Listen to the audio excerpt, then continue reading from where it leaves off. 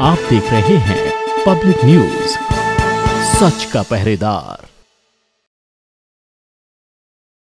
खबर सितारगंज से है, जहाँ जेल कैंप रोड स्थित राजकीय शिक्षक कॉलोनी में जल भराव की समस्या से शिक्षक और उनके बच्चे सालों से परेशान थे। बरसात में कई दिनों तक जल भराव के हालत बने रहते थे। शिक्षक उन्नीस से लगातार समस्या के समाधान की मांग कर रहे थे। शिक्षकों के वेतन से मेंटेनेंस का लगातार विभाग पैसा भी काट रहा था। सभासद रवि रस्तोगी ने जल भराव की समस्या से विधायक सौरभ बहुगुड़ा को अवगत कराया, जिसके बाद विधायक ने टीचर्स कॉलोनी में मिट्टी भरान टाइल्स रोड बाउंड्री वॉल के लिए चौवालीस लाख रूपए अब मुक्त कराए हैं।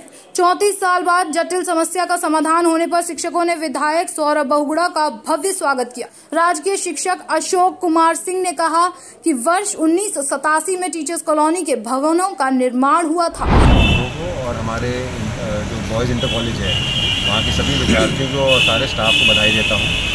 ये बहुत पुरानी इनकी मांग थी, बहुत समस्या भी ज़्यादा थी क्योंकि बारिश के समय में बहुत ज़्यादा यहाँ पे जल भराव की स्थिति हो जाती थी। और उसको देखते हुए हम पिछले साल यहाँ पर आए थे और हमने इनको वादा किया था कि हम उसकी स्थिति सुधार के देंगे। और मैं रवि रस्तोगी, बहुत सभासद हैं, मंडल अध्यक्ष जी, कमल भाई, हम सबने यहाँ पर वादा करके गए।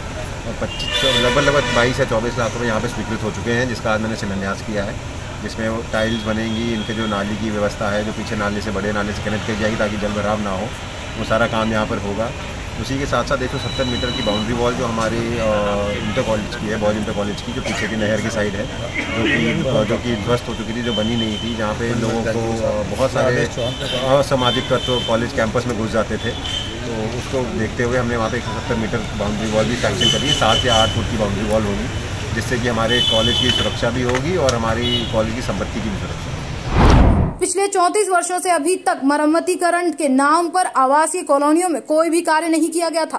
पहली बार विधायक के प्रयास से टीचरों की समस्या का समाधान हो पा रहा है। उन्होंने विधायक सौरभ का आभार इस दौरान विधायक सौरभ बहुगुड़ा ने कार्यों का शिलान्यास भी किया। टीचर कॉलोनी के सभी शिक्षकों एवं उनके परिवारी जनों ने विधायक सौरभ बहुगुड़ा एवं सभासद की प्रशंसा की।